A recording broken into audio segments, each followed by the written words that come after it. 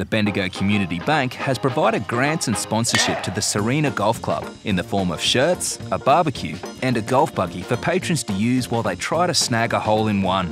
Let's take a drive with Pam and Lee to see how the bank has helped the golf club.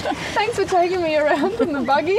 That's fine. How's it going? It's good. It's really good to have the um, the buggy because it gives us a little bit of extra income from it, and it also gives you some advertising. And some people sort of look at it and say, "Oh, we'll see if they can get us one too." You know, it really is.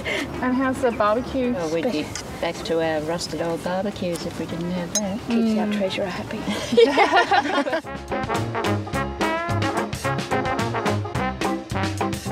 you sort of feel like you've got a partnership with the bank. Yeah, we're obviously feeling the same way too. We're finally getting that. Yeah, You feel as though you belong to Sarina. Yeah, yeah. Yeah, it's good, and, and we can um, yeah discuss anything. When we were playing golf with a challenge match against Mackay, one of the ladies from Mackay who's involved with a local school here um, walked up to me, pointed to my shirt, and said, um, Aren't this group and this bank good for this community? I was so proud to be wearing that shirt and to have somebody come up and point that out to me.